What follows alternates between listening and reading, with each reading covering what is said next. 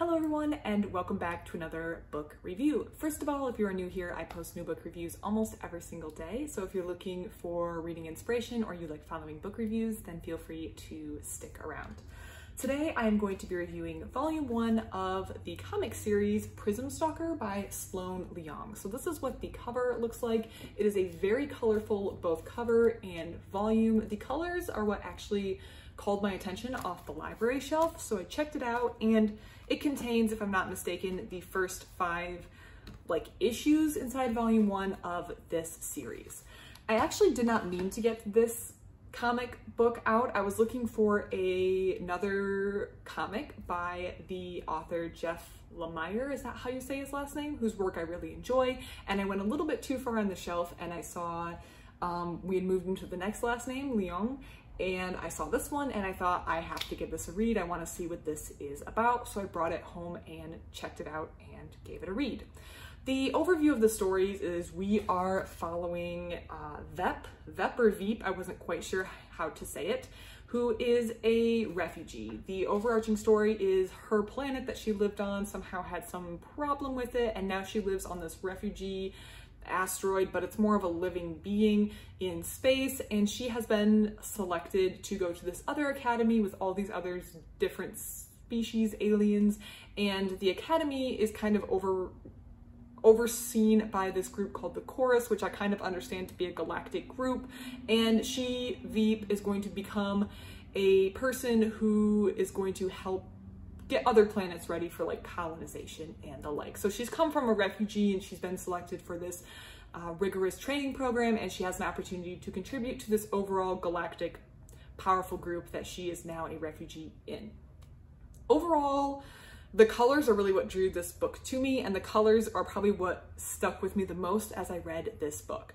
So before I dive really into the plot, I just want to say something about my reading style. I don't know if I'm a dense person or if I just am a little bit slower to catch on to things. I think it's the second one. I think I just need a little bit more to catch on to because this book felt a little bit too disparate and I will explain what I mean. So some books, the author tells it as it is. This is what's happening. This is who's in charge. This is where Veep came from. This is where she's going. This is the chorus and what they mean. And other authors tend to have a more airy approach. They're going to give you a little strand here and a little strand here, and slowly the strands are going to weave together and you're going to understand the plot. You aren't given all the information up front, but slowly the reader starts to weave a picture of the story together.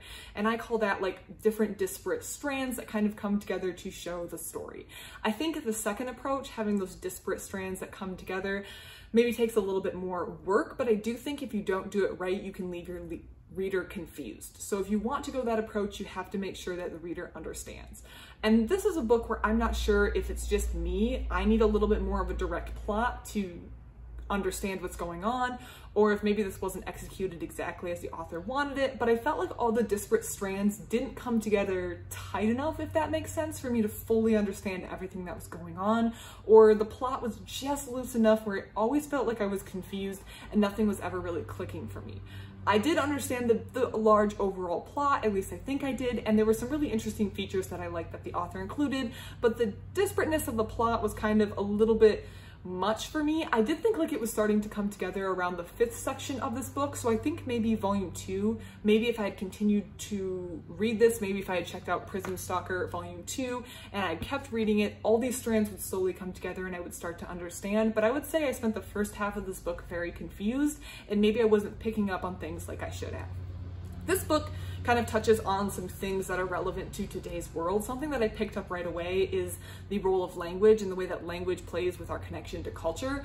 So Veep has no connection to her mother tongue. So the people, the, the group that she came from spoke a language and when she became a refugee, she spoke in this galactic or this international language. So she's speaking something that everyone else can understand. However, she isn't able to understand people like the generation previous to her who became refugees. She never learned that language and that's kind of we hear because the people who took them on as refugees want them to integrate into a culture, into a society, and want them to kind of separate from that past of them of themselves. But we find out later when she runs into more people from her planet and she's not able to communicate in that language, that's a barrier for her. And it kind of mimics stuff that's happened in the real world. We think of the Welsh language and we think of um, Native Americans in the United States and some of the things that were done in these groups and many other groups around the world to control a group a big part was to take away their language or to limit the transmission of language from one generation to another because you can kind of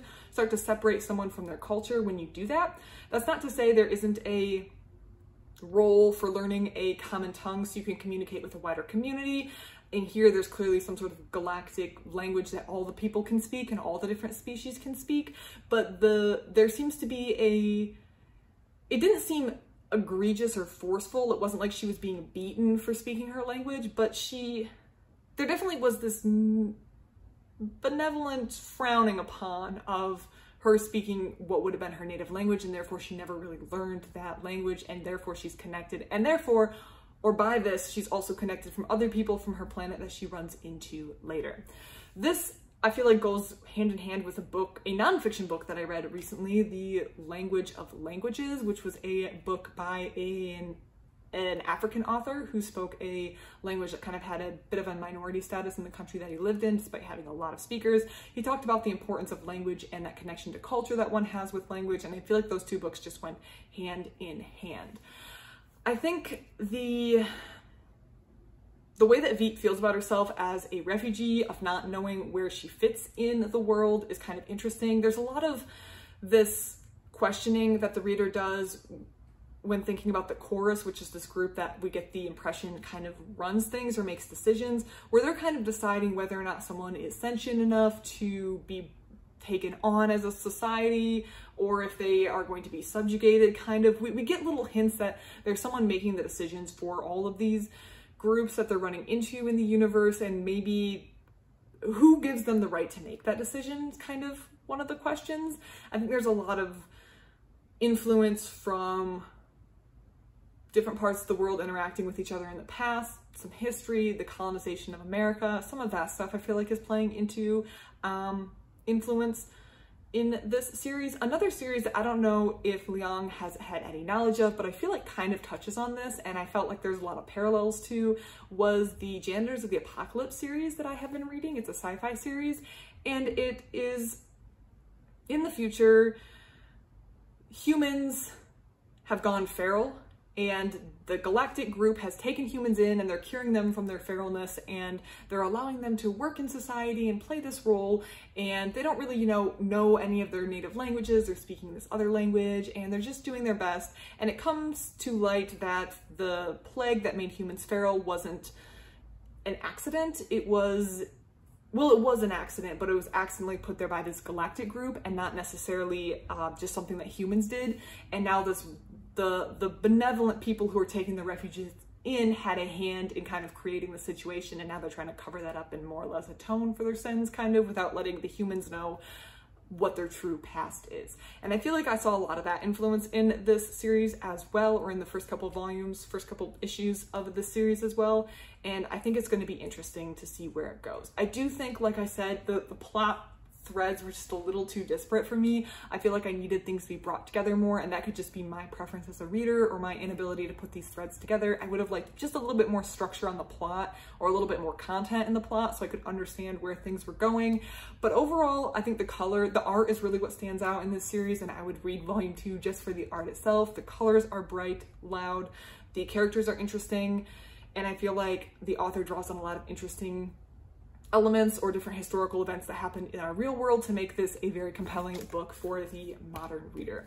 I do recommend this book if you're looking for a comic series to read. Maybe someone else would be able to draw the plot threads together better than I can, and someone else would be able to enjoy this book. You will definitely enjoy the art of this book. I have no question about that. So even if just for the art, check this book out, see what it's about, and see if you like it as well.